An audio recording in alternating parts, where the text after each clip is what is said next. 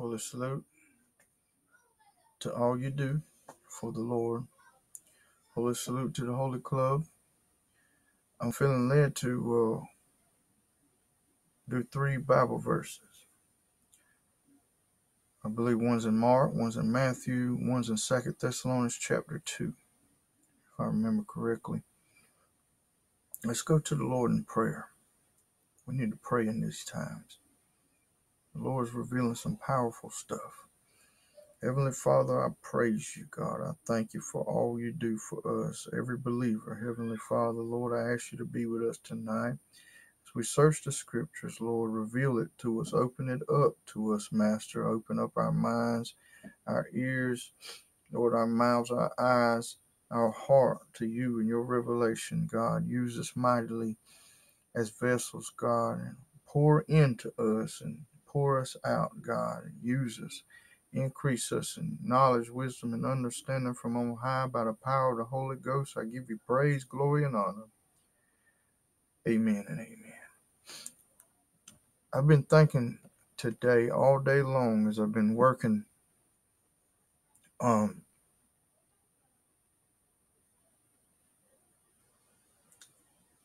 end times, end times, end times, end times the Lord's been telling me to go back through my prophecies and go back through what I've written down and to go back through what I've dreamed and saw in visions and, and, and, and things that He's told me through the interpretation of tongues and things that He's uh, that He has in His Word of God and and uh, so many other ways that He's spoken to me and, and communicated with me. Signs and wonders and, and in the heaven signals but let's go to the Word of God. Let's go to the Word of God. Go with me.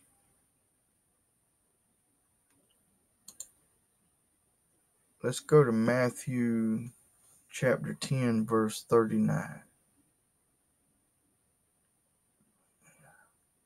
It says, He that findeth his life shall lose it, and he that loseth his life for my name's sake, for my sake shall find it.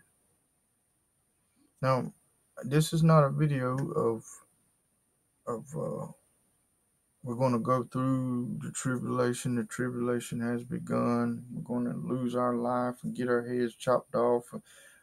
Oh, there ain't no hope for us. I ain't. We're not talking about that. We're discussing scripture and this time period in which we are in right now.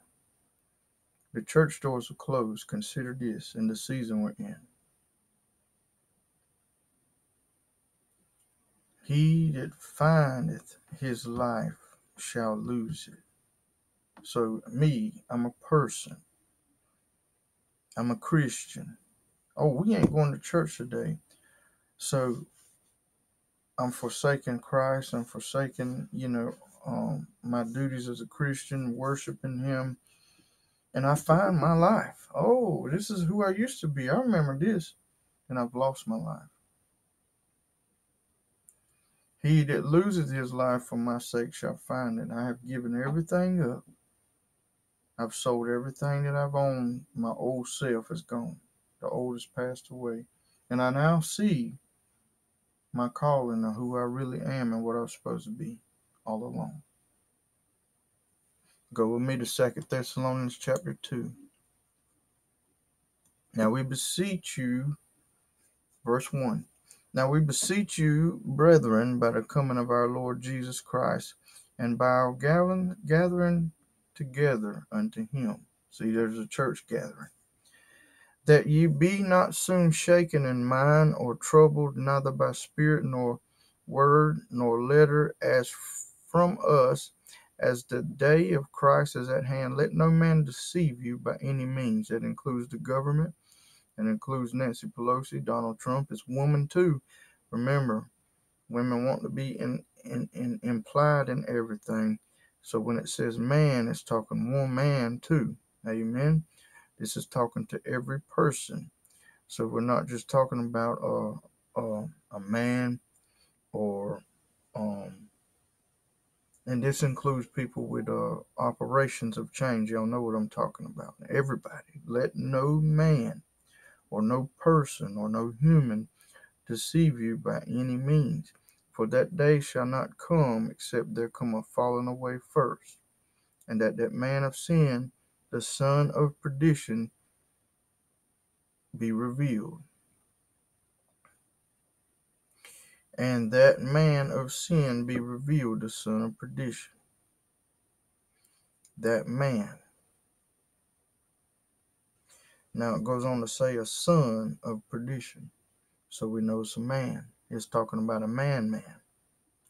All right, now go with me to Matthew chapter 24, verse 13. It says, He that shall endure unto the end, the same shall be saved.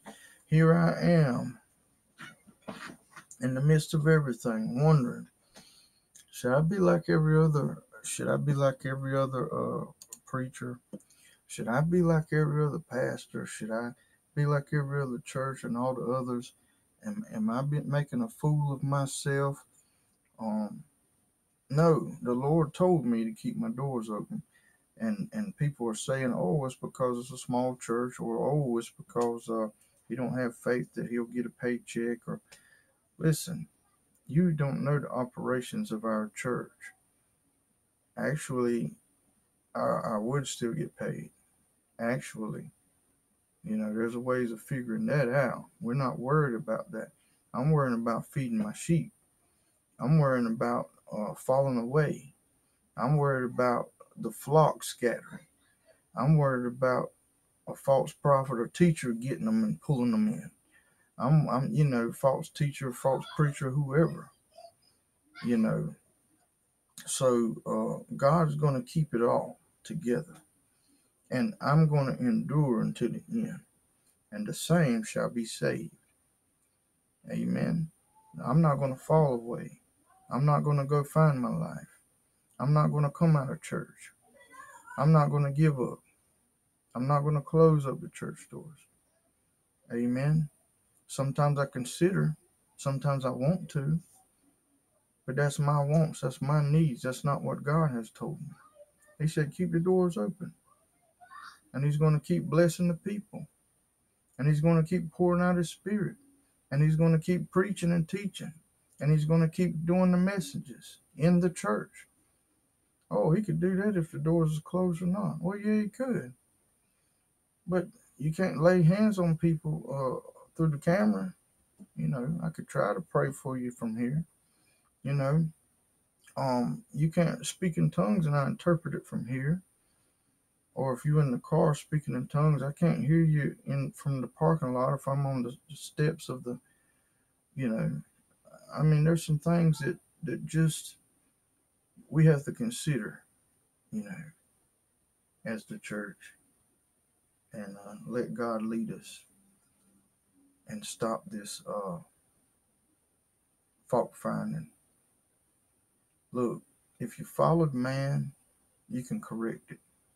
If you find yourself in a predicament where you can't open your church back up, there's no law saying you can't open your church back up. God says, let us gather. It says in the first uh, amendment that we have the right to gather.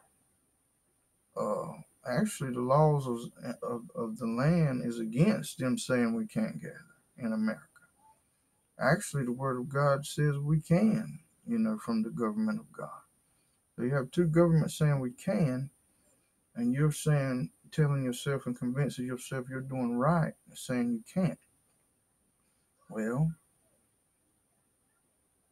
you're going to have to stand before God, and I will too. And we're just going to have to take it at that and do the things that some people feel is right, some people think is right, or I don't know what.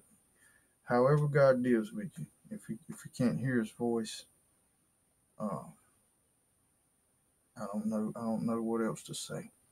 But he that shall endure to the end, the same shall be saved. Keep enduring, keep looking up. The time is at hand. Don't fall away from God. Don't follow the ways of the world. Don't listen to every voice in the world. Uh, let us hear one voice and one sound from heaven. Amen. Holy salute to the Holy Club. Keep looking up. The time is at hand. If you don't know Jesus as your personal Lord and Savior, now is the acceptable time. It's not appointed unto us the wrath of God. Praise God, the children of God.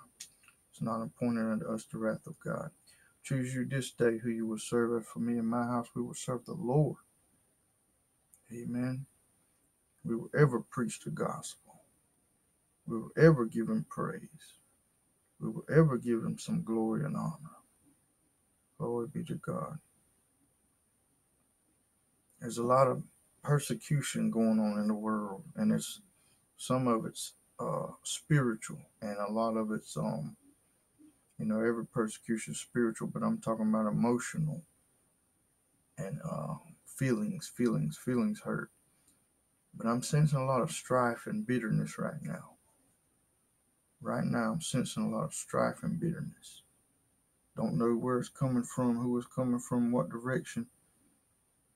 But we have to have this right here right. Make sure it's right. Amen. The Holy Ghost discerns, discerner of spirits. Get saved, get your heart to the Lord, give your heart to the Lord. If you know the Lord, I'm happy for you. I'm, I'm truly happy for you. And if you know him, get to know him more. Be blessed, be encouraged. Get saved. Get saved. Give, give your heart to Jesus. Amen. Time is winding down. It's running out. It's, it's, time is at hand.